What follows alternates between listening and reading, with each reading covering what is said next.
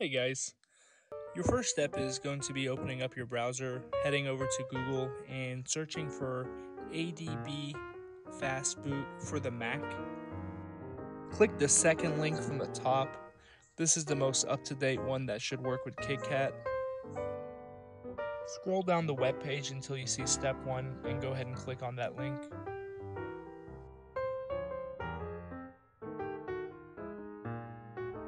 The link should take you to DevHost. Go ahead and click the download link that I have highlighted in red. Uh, the other ones are advertisements that'll take you to a different web page.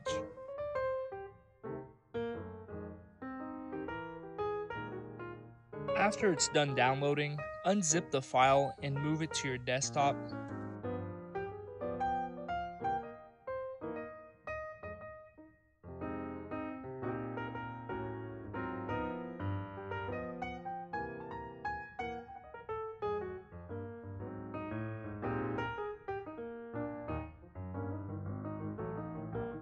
Alright, after you moved it to your desktop, go ahead and open that up. You should see the Mac folder. Click that mm-hmm. one and rename both those files with an underscore Mac after the name of both files. Make sure to capitalize the M.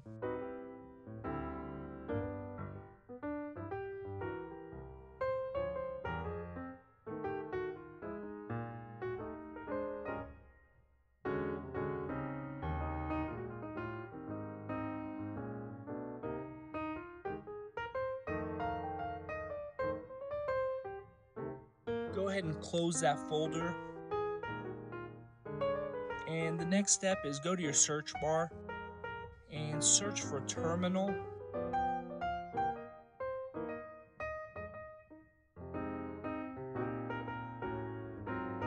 Once your terminal is open, you're going to type cd space capital D desktop forward slash capital A Android.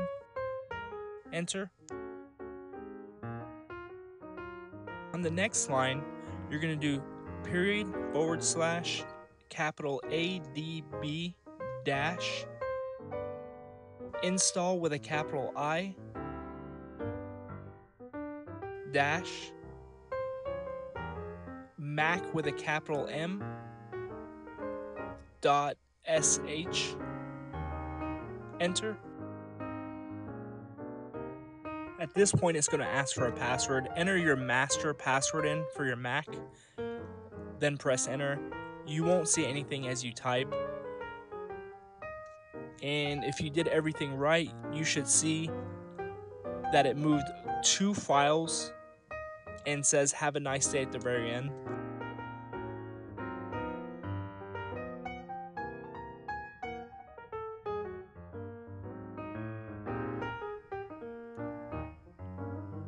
At this point, we need to do some settings on the phone.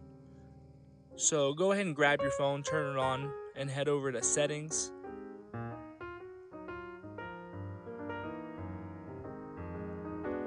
And once in settings, scroll to the very bottom until you see about phone.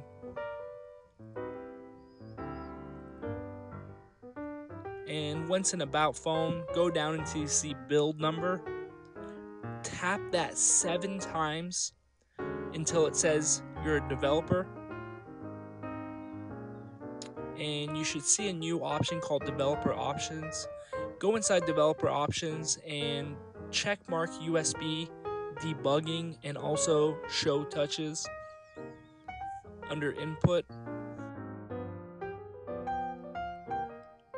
And then plug in your phone to your computer and head back to terminal.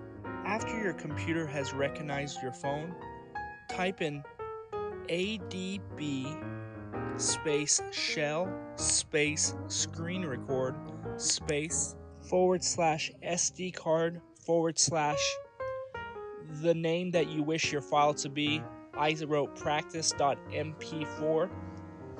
If you were wanting to put it into the downloads folder, you would write it forward slash SD card forward slash downloads forward slash the name of your recording.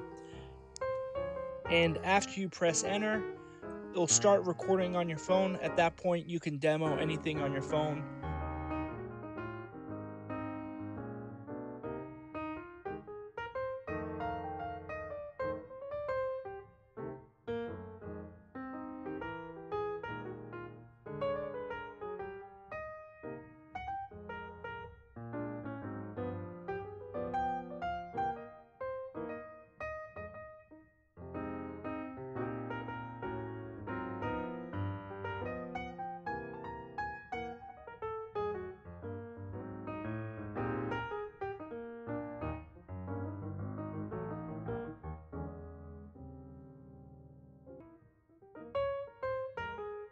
And when you're done, hit Control C, enter, and it should stop the recording on your phone.